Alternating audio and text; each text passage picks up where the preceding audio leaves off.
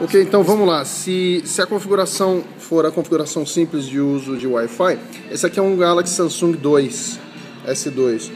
Então, teoricamente, o que você vai fazer é vir aqui no menu dele embaixo. Você clicar no. E, uh, você vem aqui embaixo, não está aparecendo, mas você deve ter um, um parecido porque é Android, uh, o botão, ele vai aparecer a hora que eu apertar, que é esse botão aqui que é do menu. Aí você vai ter Settings, apertou em Settings, uh, Wireless and Network. De Wireless Network você tem Wi-Fi Settings. Clicou nele, o que vai acontecer? Nesse caso eu já estou conectado, como dá para ver aqui, ele está ligado e eu estou conectado. Mas teoricamente ele teria desligado, que é o que eu vou fazer agora.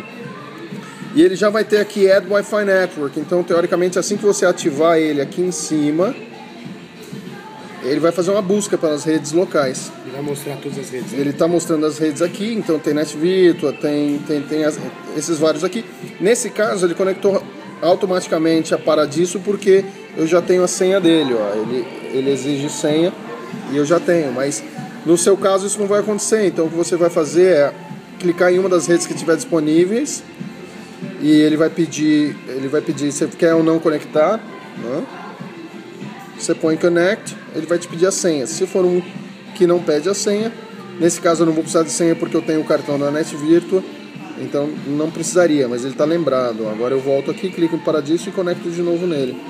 E se tiver em português, o Yuri, como é que são as palavras aí? Provavelmente não vai estar, tá, né? Não sei, o telefone dela, Galaxy não fica em português? Não, ele pode ficar em português, o meu tava. É. Mas eh, se tiver, o processo é o mesmo, porque os símbolozinhos vão ser os mesmos. Vai estar escrito Wi-Fi igual e a engrenagem no settings vai estar configurações. Uhum. De resto, é só brincar. Então tá bom. É isso. Esse é o Fernando, tudo bem? E esse é o meu amigo que deu a explicação para você, o Yuri. Boa sorte com o teu Galaxy, é um excelente aparelho.